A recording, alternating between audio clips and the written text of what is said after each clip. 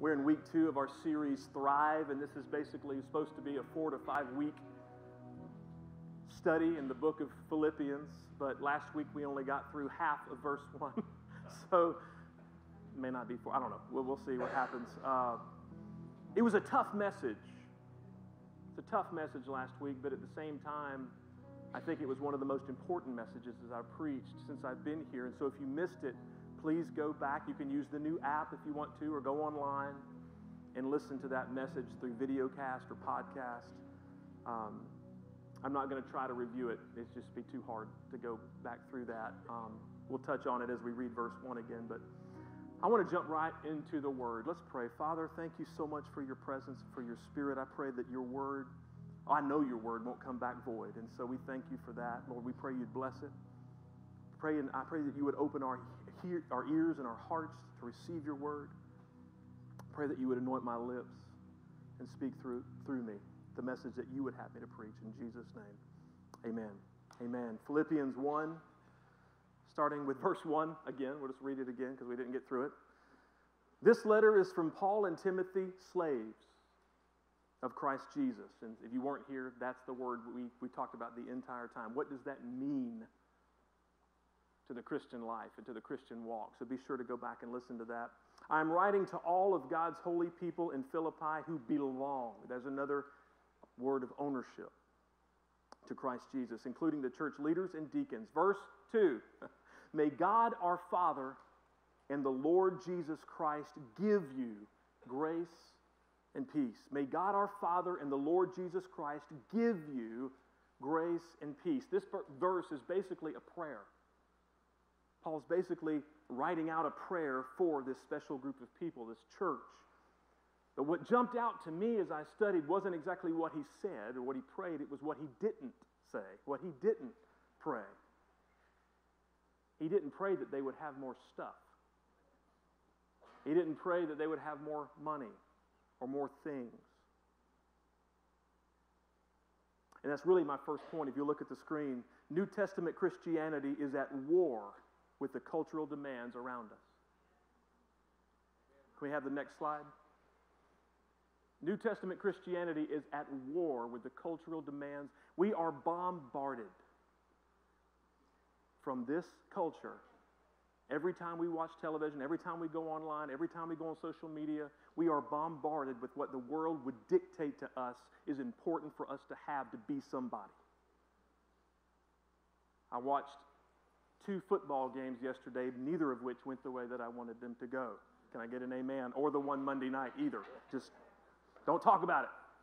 Amen. Thank you. If somebody says roll tide, I will come off this stage. now, I, I, I was. I got your roll tide. All right. Anyway, I was watching these, these games and I was going to try to count how many commercials just were, overtly just trying to cram things and stuff down, and I couldn't. Every one of them. We're being bombarded and see the danger.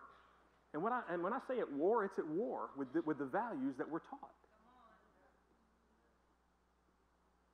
And so the danger is we fall into this trap of being consumed with consumerism and consumed with material things and, and, thinking about those things. And guess what happens? Here's the danger they begin to bleed over into our prayer life. We begin focusing on those things even when we're supposed to be praying about other things. We end up praying for the wrong things. And here's what happens. Here's the danger of what of praying for the wrong thing and focusing on the wrong thing can happen. We don't get what we're praying for, and then we get mad at God. And it affects our faith, it affects our relationship with Christ, but we're not praying the will of the Father, and so we don't get what we're praying for, and we're like, why does God not like me? Why does God not going to answer? Why is He not answering my prayers? It affects our walk with Christ. We're praying for the wrong thing. Uh, my grandmother, uh, we called her Gramsy. This is years ago. She's been she's been gone for quite some time. But she used to have a friend who was even older than her. They were both widowed. She lived across the street. Her name was Bertha, and she lived across the street. So Gramsy would go over and check on her from time to time. And so she went over one day to check on Bertha, knocked on the door, nobody came back to the door, but she heard some crying. She heard somebody crying on the inside. So she got worried, and she, she, she was very short. She was like this, like four foot seven, or I don't know, very small, very short. And she would like, she peeked up into the little window and saw Bertha on the couch with her head in her hands just crying. And so she tried the door, and the door was open, and she went in, and she's like, Bertha, what's wrong? And Bertha just couldn't even get her breath. She's just crying, Oh God, oh God. And then she said, He's dead. He's dead. And, and Graham's like, Bertha, I'm so sorry. Who, who, who died? What happened? And Bertha started pointing at the television. He's dead. Luke is dead, and I just can't believe it. I just can't believe it. And Gramsy realized she was talking about a soap opera character. And listen, my grandmother, if she didn't make it to heaven, none of us have a chance. But in that moment, she told me she cussed and turned around, not without another word, and went right back to her house. She was furious. She could not believe. The story is not over. So in church that Sunday morning, it was an older church, a little church, and they used to take, still take prayer requests from whoever in the services. Are you, anybody following me where I'm going? She, this is the God's honest truth. She requested prayer for his family. now, talk about praying for the wrong things, okay? Sorry, I know that, that that was a stretch to use that story, but I had to. It was just too good, too good. But we can, we can end up falling into this trap of praying for the wrong things, being consumed by the wrong things. And hey, look, look, having nice things is fine. It's fine, but that's not God's primary concern for you. Having more stuff and nicer stuff is not his main concern for you. Following Jesus is.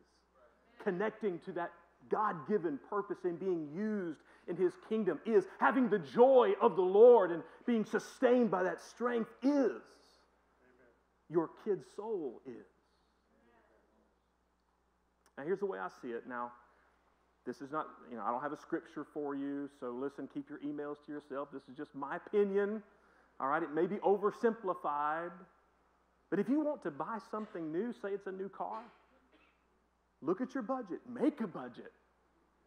See if there's a there's margin there. If there's not, save your money. Don't go into some major debt for it. But if you've got it and you want it, then buy it. Come on, don't over spiritualize it. But listen, it can't consume our prayer life.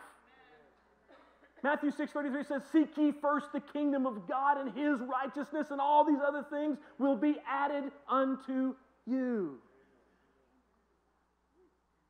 When I took my first full time ministerial position, I was in my mid 20s, early to mid 20s, and it was time to change cars. I'll be honest. I had driven that car for this particular car forever, and it was it was going down fast. So it was time to buy, and I was excited. I had a full time job, all this stuff, and I found a '93 Mazda 929. Anybody? Nice, right? And of course, it was used. This was 96 or 7 at this point, but it was nice. Somebody had taken care of it. It had leather seats, it had heated seats. I had never had that, never since had, had heated seats. But man, this car was awesome. I wanted this car, so I got this car. And then this car got me because I have never done this since then, but I took that car down and had it professionally cleaned every Saturday, had it vacuumed. This, I mean, this car, it was rear wheel drive, just smooth. And I just loved this car. And I think I loved this car a little too much because I've totaled this car after four months. Listen, I didn't have a scratch on me. Totaled the car, not a scratch on me. You can't convince me otherwise. I think God took that car from me. I'm totally being serious. I think he took us, it was not a healthy thing in my life.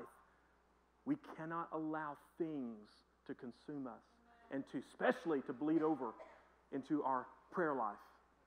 So Paul doesn't use this moment, back to our scripture, to pray about things. And you know what else he doesn't pray for them? Safety. Pastor Allen, two weeks in a row, you're going to get us? Now, listen, this word's full of. He did not pray for their safety. That's another thing in our culture that consumes us. we're constantly worried and have fear and let anxiety take over. Lord, help us to be safe. Help my, my job to not lose my job. I want it to be safe. I want my finances to be safe, my kids to be, I want my house to be safe, safe, safe. For the most part, New Testament believers never prayed for safety. They just seemed to accept the fact that if they followed Jesus, it would be dangerous. It was illegal. Paul wrote this letter from prison because of the gospel. They just saw it as something they had. It came with the territory, risking their lives for the gospel. So they didn't spend much time praying for safety. But you know what they prayed for? Boldness. They prayed for boldness and they prayed for grace and peace so that no matter what they faced, no matter what trial they went to, no matter what happened to them, they would have the boldness and the grace and the mercy and the peace to share the love of Jesus no matter what. That's what they prayed for. I can only find one place in the New Testament in 2 Corinthians 2 where Paul thanked a group of believers for praying for his safety during an unusually dangerous trip that he was on. Everybody, look at me, though. Look at me. I don't want you to take me the wrong way. I am not saying at all that it's wrong to we should never pray for safety. I pray safety and a hedge of protection and angels to be dispatched around my girls every single day. Anybody with me? Come on. That's nothing wrong. Nothing wrong. But here's the point I want to make in battling that culture that we're talking about. Safety should never be our focus. It should never be our focus, just like the materialism and the consumerism should not be our focus and take up all of our prayer life and our prayer time. Pastor, is God not concerned with my safety? Of course He is. He's a loving Father. But He's more concerned with your soul. He sees the eternal. Safety is a temporary thing. You hear me? But our souls are eternal. And so they are therefore more important. Your kids' souls are more important even than their safety. That's why Paul could say things like he did in, Philipp- in later on in Philippians to live is Christ and to die is gain.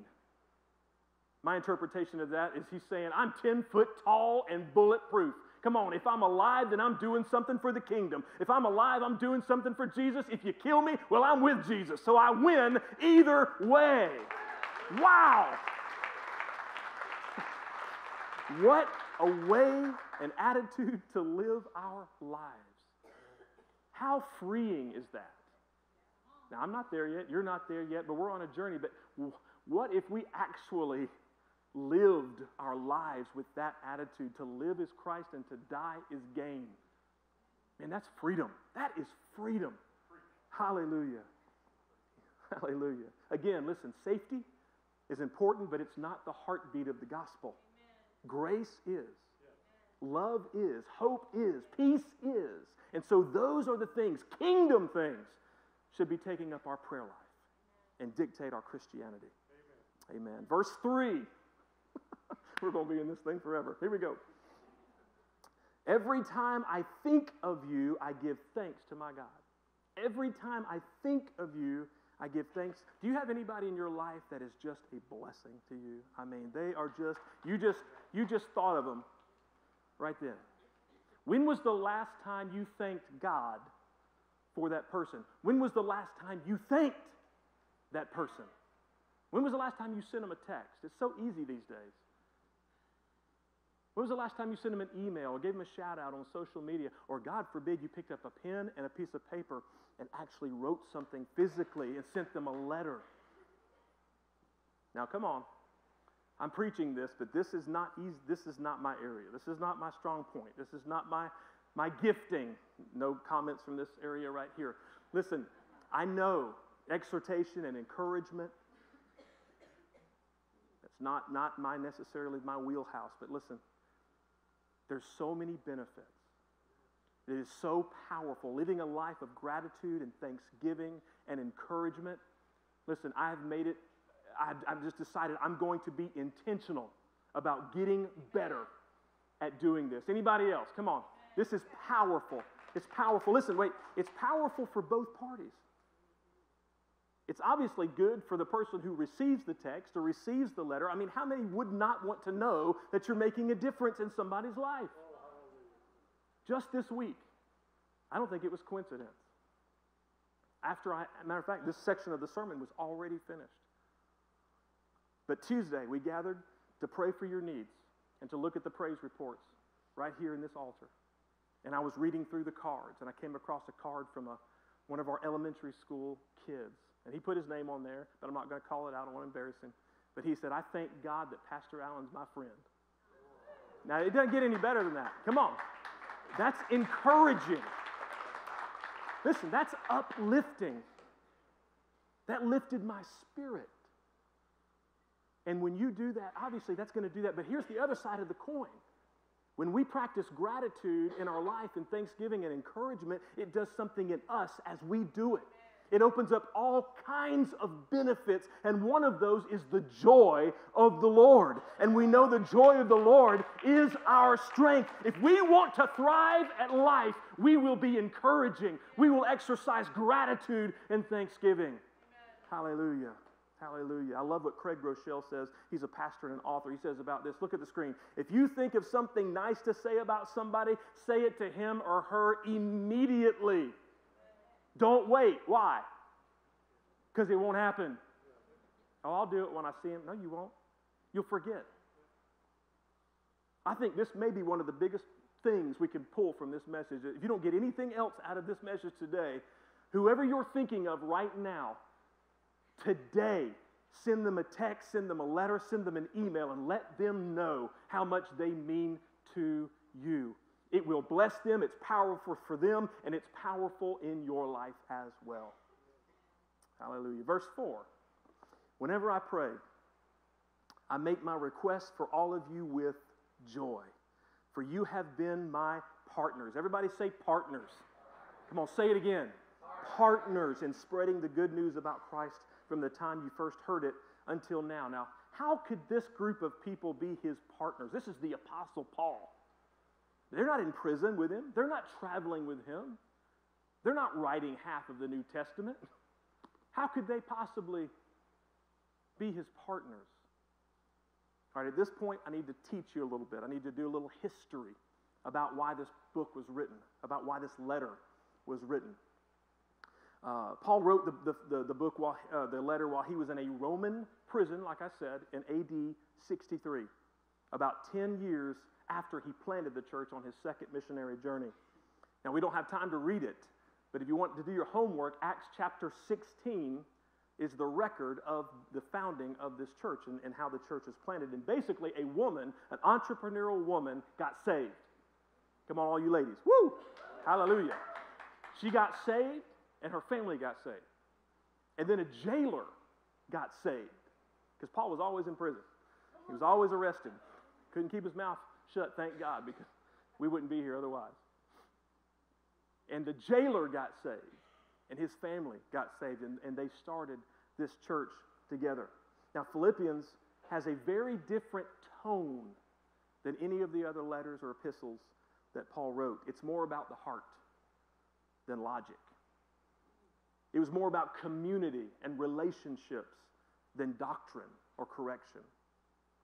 Paul had a special relationship with these people.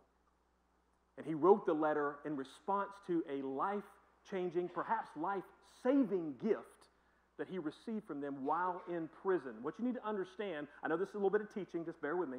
What you need to understand about prison and Roman prison at this time is they didn't have to do anything for you. There were no laws about how they took care of you in prison. You know, in our prison system, they get three squares a day, they get, they get exercise, they get cable television, you know, all this stuff, and we're paying for it. But anyway, it's okay. I'm not bitter. Listen, no, I'm just, I'm serious. I'm serious. We have laws, don't we? Where we take care of no matter, you know, what, what, what they've done, we take care. They didn't have that. So prisoners in this time period had to rely on family and friends to bring them food and provisions from the outside. Often they would have to bribe the guards and all kinds of stuff that would happen to take care of them, or they, they might die in prison. Well, this church knew this, and they loved Paul. And so they came together, and they were poor, but they came together and they took up an offering and they took the money and the provisions and whatever it was to Paul in prison. And he, it changed his life. It may have saved his life. And he is thanking, he's writing this letter primarily to thank them for that. He's wanting to make sure they know hey, you're not just a church, you're my family. And you are partners with me in ministry. You may never leave this country. You may never travel to Israel or Pakistan or Panama or any of these places that the church goes. But if you pray for us when we go, if you give towards those trips, you are just as much a partner in that as the person who physically goes. I want to remind you that we are sending the rent, monthly rent, to Pastor Sammy in Pakistan so that he can keep his Christian school open and so that those little kids are off the street and are taken care of. We are partners, even though the vast majority or all of you may never step foot on the property. We are partners with him in ministry. That's what Paul is talking about right here. And it's, it's, it was important that Paul knew how much, that they knew how much he loved them and also how much they needed each other. Paul needed them, and they needed Paul. Here's an extremely important point for today. Look at the screen. We will not thrive at life without community. We, it just won't happen. If you want to grow in your faith, if you want to get stronger as a believer, it's not going to happen without other believers around you. It's not going to happen in isolation. It's not going to happen by sneaking in the back on Sunday and then taking off and never seeing anybody the rest of the time. I know, I know how it goes. I'm glad that you're here. But see, we're in rows right here. And this is important. This is so important that you that church attendance and coming, we don't forsake the gathering together. Amen. That's that's the word of God. But if that's all we do, we're going to be limited in our growth. And if we isolate ourselves, we're going to be open to the attacks of the enemy. That's why it's so important what Pastor Cody's doing here at this church. That's why we invested in that position. Because small groups is so important. If you haven't signed up, you need to do so. You need to be surrounding yourself in a circle of people who are like minded, who are going the same direction, who will encourage you, who will help you, who will minister one to another. Paul knew that. The Philippians knew that, and we need to know it as well. We will not thrive we will not thrive in our Christian walk without community. Amen? All right, I just want to make sure you hadn't fallen asleep. Verse 6 And I am certain that God, who began the good work within you, will continue his work until it is finally finished on the day when Christ Jesus returns. Paul is talking about the process of maturing in our faith, of persevering and growing in our walk with Christ connecting with our God given purpose. Now, don't raise your hand. Don't raise your hand. But how many feel like maybe your spiritual walk, your spiritual journey has stalled out? That you're just not growing in the faith like you once were? Maybe even going backwards. Come on. When you first got saved, everything was exciting. You were growing by leaps and bounds every single day. Coming to church was like a pep rally. You were on fire. Nothing could stop you. And then you, you, you, go into a season where it's not as fun and, and life happens and there's struggles and maybe there's a mistake, there's a sin, something happens in your life. Whatever it is, it's just not happening. It's not progressing like it once was. When I was a senior in high school, I grew more my senior year in my faith and in my walk than probably my whole life. I decided, this is a 17 year old boy, I decided I was going to fast my lunches at school and go into the choir room. And there was a piano, and I was a musician. I would play and sing and worship.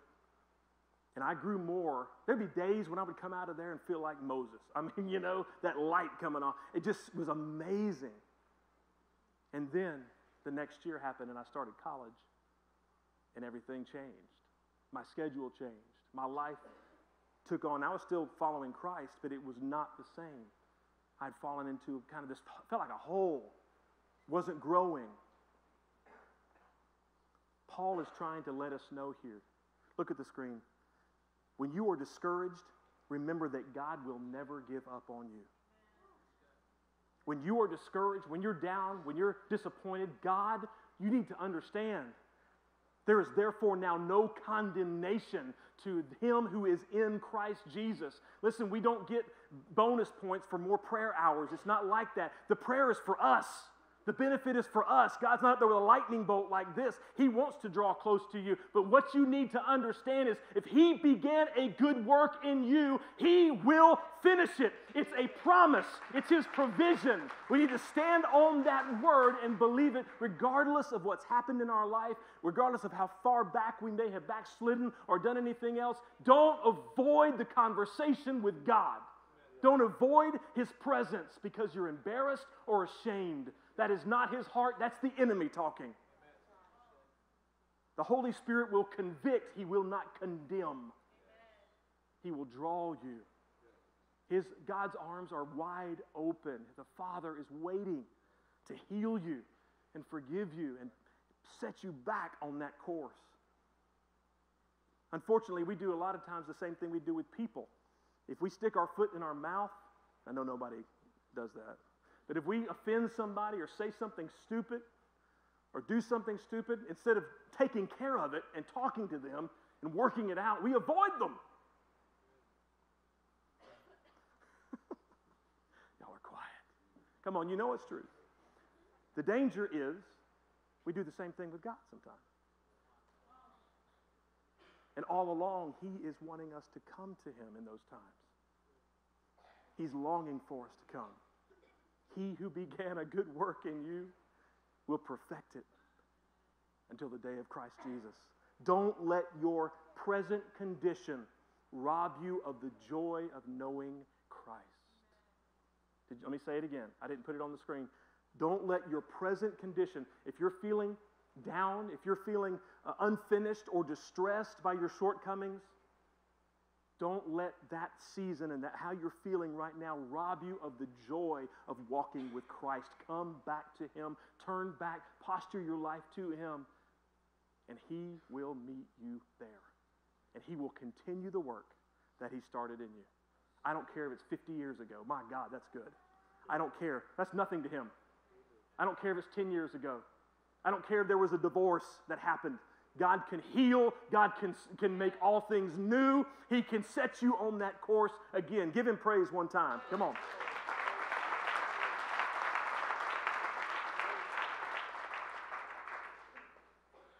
Verse 7.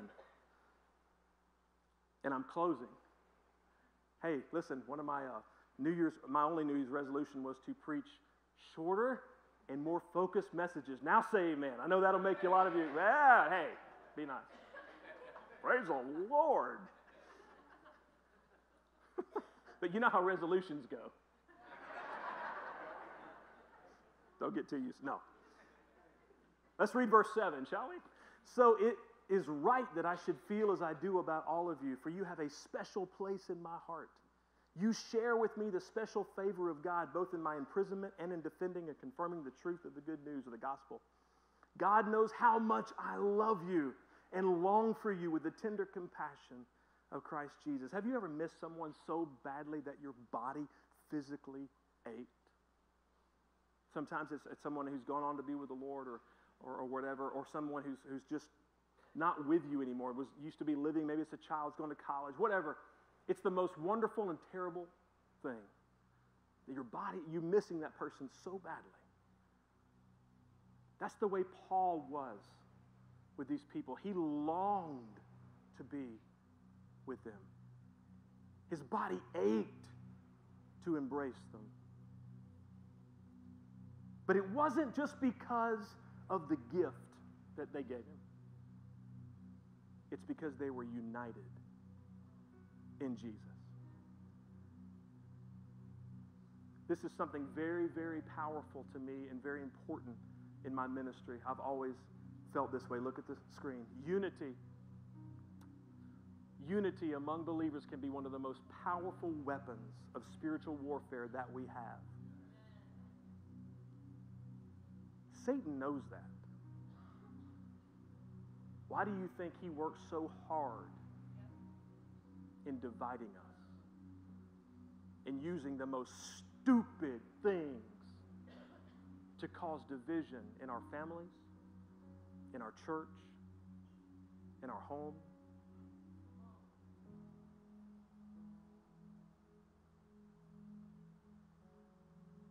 God is giving us growth at New Life. Praise God. But I can't help but just feel a little bit guarded. Because as we are being used of God in, the, in this community and in the kingdom, it puts a giant target, spiritual target, on our back. But let me declare to you today greater is He that is in us than He that is in this world. And if we bind together in unity under the banner of the Lord Jesus Christ, even if there are differences, and there will be, even if there, there are discussions and, and, and, and, disagreements, and there will be, if we remain one and conscious that we are one in the name of Jesus, then we will be more than conquerors in Jesus' name. And God will use us for his kingdom. Unity. The longest prayer recorded in the Bible of Jesus in John 17, he mentions unity four times. Do you not think it's important? He said, Lord, let them, he's talking about the future church, let them be one as we are one. God forbid we let stupid things divide us. God forbid we let politics divide us. God forbid we let the color of the carpet or the lighting or the, the whatever. You know, churches divide over these kind of things or the finances or whatever it is. We've got a job to do.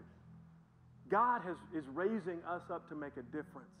Let's be conscious of this. This is the weapon unity in the name of Jesus. Not under Pastor Allen, under Jesus. If God be for us, who can be against us? Unity. We are better together. We are stronger together. We can accomplish more together.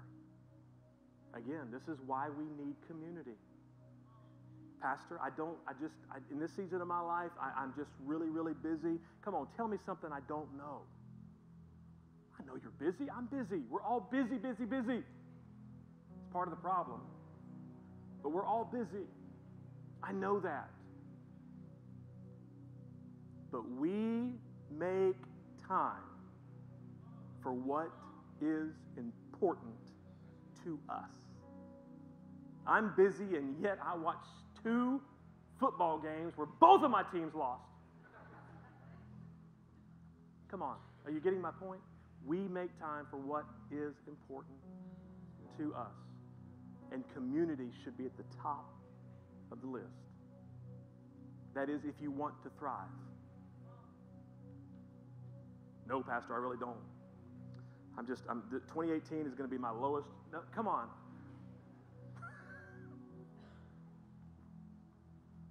our big idea, our big idea is a review of the message. Thriving in the new year means praying the will of the Father, exercising gratitude in all we do, and making time for community. Let's briefly look at those praying the will of the Father, not for the next big thing, not for the next shinier, newer thing. We've got enough stuff. Let me say it again. We have enough stuff. That's why Christmas is so frustrating trying to buy presents for people who don't need anything.